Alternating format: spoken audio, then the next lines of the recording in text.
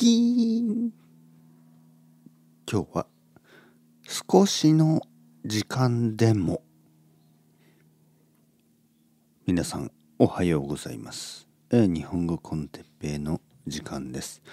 あの今朝、えー8時55分、えー僕は9時からあのレッスンがあります。最初のレッスン。あと5分しかない、ね、5分後ですね。こういう時間にえーまあポッドキャストを撮る。あのー少しの時間でもあの何かができます、ね、例えば皆さん日本語の勉強をしてますね。それであの例えばあ5分しかない。ね。次昼休みの後まあ仕事が始まる。ね、えー5分後に仕事が始まる。こういう時に何をしてますか？ちょっと YouTube 見たり、ね、ちょっとまあまあ YouTube ね。その自分の言語で YouTube 見たり。ちょっとなんかぼーっとしたり。ちょっとまあ何？テレビ見たり。ね？なんか何もしなかったり。まあ何もしないのも悪くないですけど実はそういう短い時間でも何かができます。少しの時間でも何かができる。えー少し漢字をこうチェックしてもいい。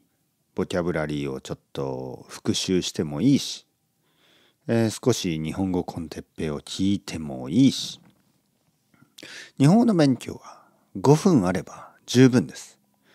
5分あれば何かができます、ね。そして一日の中で、ね、毎日忙しいでしょ？そういう忙しい一日の中でそういう5分ぐらいの小さい時間をたくさん見つける。これが大事です。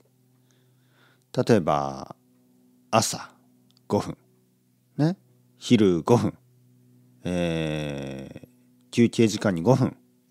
仕事が終わって5分。夜5分。ね。そういう5分5分5分5分5分がまあ30分ぐらいになるんですけど例えば30分間勉強するよりもね30分間こう連続で勉強する、ね、30分間、ね勉強するよりも5分5分5分5分えちょっと待って。5分5分5分5分5分5分はいこれで30分5分5分5分5分5分5分勉強した方がもっといい。もっといいです。なぜかというと復習ができるから、ね、復習ができます、ね、レビューリバイス。復習ができる。5分。5分。5分。5分。5分。5分。ね。少しずつあの復習ができる。そうするともっと覚えられます。ね。覚えることができる。朝5分。ね。ちょっとチェックした漢字を昼またチェックして5分。それをまた後でチェックして後でチェックして後でチェックして寝る前にチェックして1日の間に何回チェックしてますか？もう5回とか6回とかチェックしている。そうすると覚える。次の朝またチェックする。もうこれで完璧ですね。完璧ですよ。